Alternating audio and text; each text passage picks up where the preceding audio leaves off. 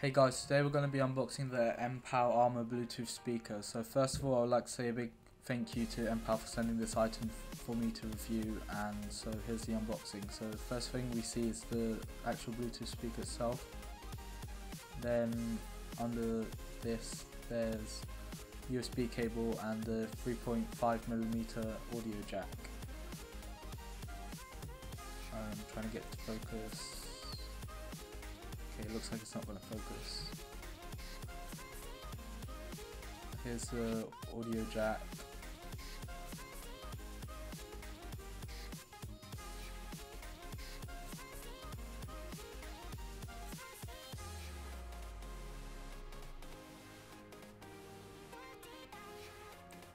And here's the instruction manual.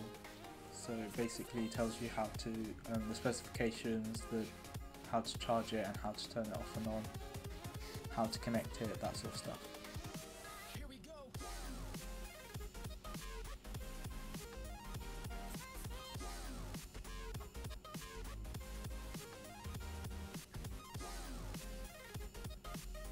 Front of the speakers with the power button and an up and down button that allows you to uh, switch tracks and also adjust volume.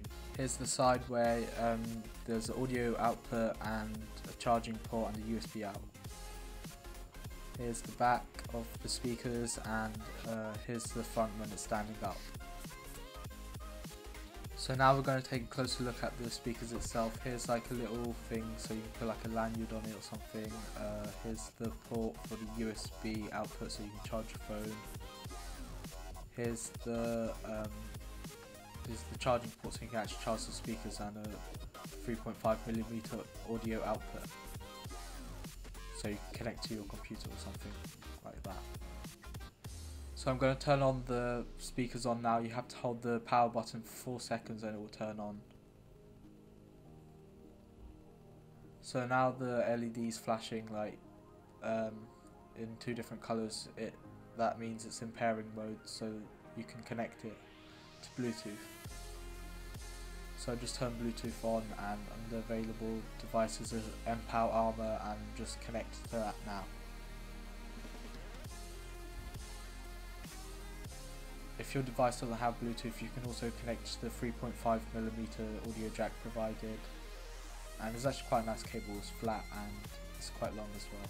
Now I'm going to do a mic test compa comparing my phone speakers to the speakers itself.